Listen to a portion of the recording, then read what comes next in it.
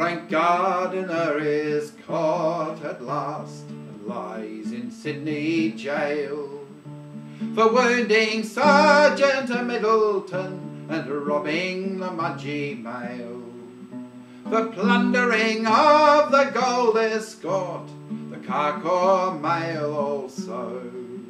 And it was for gold he made so bold and not so long ago. His daring deeds surprised them all throughout the Sydney land. And on his friends he gave a call and quickly raised a band. And fortune always favoured him until this time of late. Until Ben Hall and Gilbert met with their dreadful fate.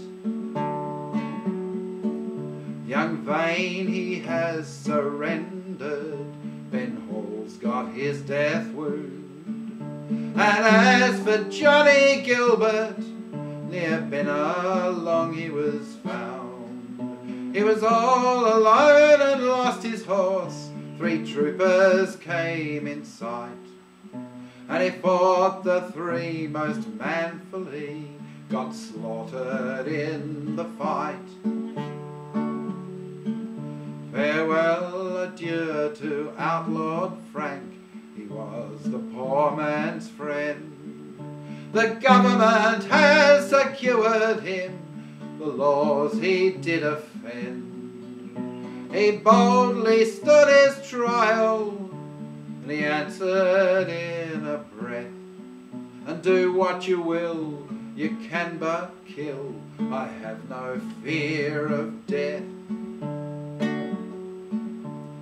Day after day they remanded him, escorted from the bar. Fresh charges brought against him from neighbours near and far. And now it is all over, the sentence they have passed. All sought to find a verdict, and guilty 'twas at When lives you take a warning, boys, a woman never trust.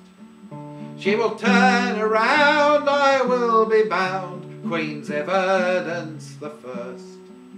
He's doing two and thirty years, he's doomed to serve the crown.